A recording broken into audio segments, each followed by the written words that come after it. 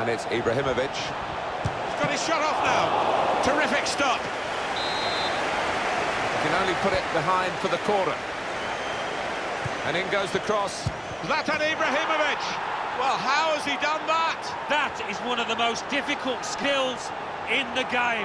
And he made it look easy, Martin. Wonderful sight for him and his fans. How about that for a goal? Well, they've got power, they've got height, and when the corners